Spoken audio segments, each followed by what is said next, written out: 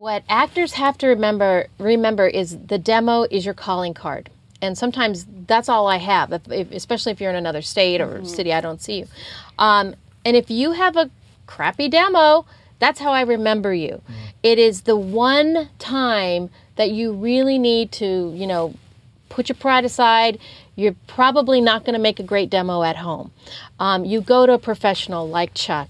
You go to a professional who knows what the agents are looking for, what casting directors are looking for or wanting to hear, um, and it'll be the best money you've ever spent because that is all you have to get yourself in the door. We have had some fun Christmas parties with old boy. demos Oh boy. bad, bad, bad demos, you know, that people have recorded in their bathroom or whatever. And, you know, I, I don't want to make light of it, but if you have to save up or whatever you have to do, but that's what you have to, you know, you really have to do to show your, your professionalism. Yeah.